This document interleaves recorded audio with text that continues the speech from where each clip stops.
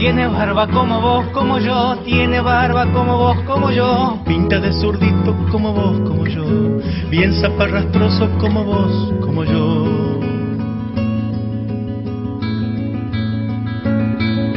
Tenía veintitantos como vos, como yo. Era jovencito como vos, como yo. Y el 20 de octubre de 2010 abandonó todas sus tareas acompañar a los tercerizados del ferrocarril Roca, exigiendo el pase a planta y la reincorporación de todos los compañeros. Bueno, nosotros, para nosotros es muy importante hoy estar acá y que esta movilización tan importante que continúa desde el primer día de la animalada que hizo la burocracia, que ya de la cual ya no nos sorprenden y me parece importante que sigamos a pesar del paso del tiempo y que se haya impuesto este, la consigna de perpetua pedraza y me parece que también lo fundamental es cómo sigue la movilización y no perder de vista que es la punta del iceberg lo de Pedraza, que la estructura todavía está, está armada.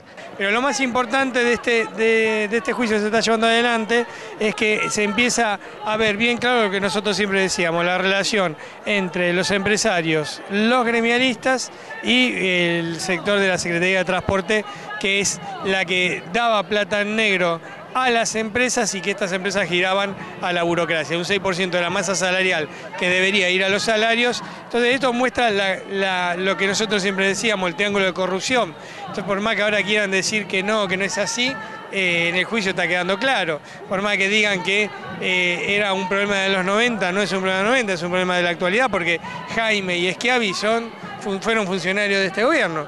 Ahí tenés vos lo que está diciendo de Severo, que siendo un testigo importante de la estructura que tiene la burocracia, que en complicidad con sectores del gobierno, con sectores de los empresarios de las concesionarias ferroviarias y el gran negocio que está haciendo y cómo defienden esos negocios, no tienen ningún problema de salir a matar compañeros que están luchando por sus derechos y por organizarse, como estuvieron los tercerizados Roca y como ya como los viejos ferroviarios lo conocemos, no es, no es las primeras agresiones y muertos que tiene Pedras y la Unión Ferroviaria.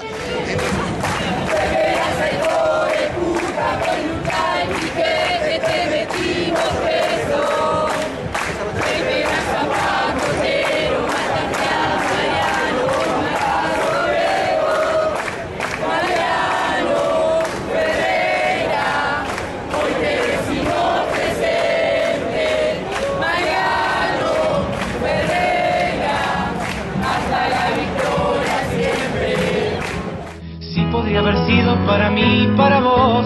Sí podría haber sido para mí, para vos. Ese cruel disparo que fue al pecho, al corazón.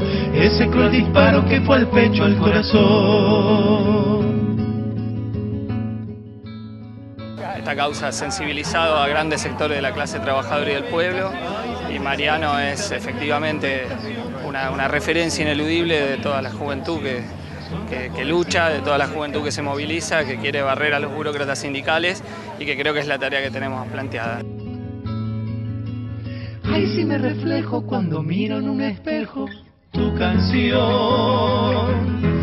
Tanta melodías que me inspira cuando se quiebra mi voz.